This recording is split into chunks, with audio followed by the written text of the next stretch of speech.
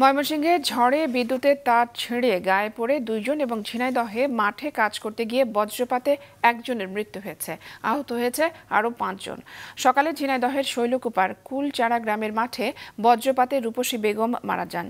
জেলার সদর কালীগঞ্জ এবং কোটচাঁদপুর উপজেলার বিভিন্ন সড়কে এবং আশেপাশের এলাকায় শতাধিক গাছ উপড়ে পড়ে, বন্ধ হয়ে যায় যান চলাচল। ঝড়ের কারণে কুষ্টিয়ার বেশিরভাগ এলাকা বিদ্যুৎ সংযোগ বিচ্ছিন্ন হয়ে পড়েছে। মোবাইল ফোন নেটওয়ার্ক এবং ইন্টারনেট সংযোগও প্রায় বিচ্ছিন্ন রয়েছে।